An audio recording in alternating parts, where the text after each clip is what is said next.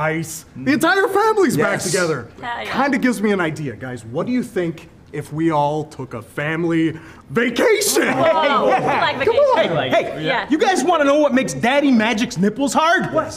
How about the fact that the Jericho Appreciation Society, we're joining the cruise. And what you guys need to go do now is go book your cabins for four leaf clover. That's right, do it now because the Jericho Cruise is for lovers.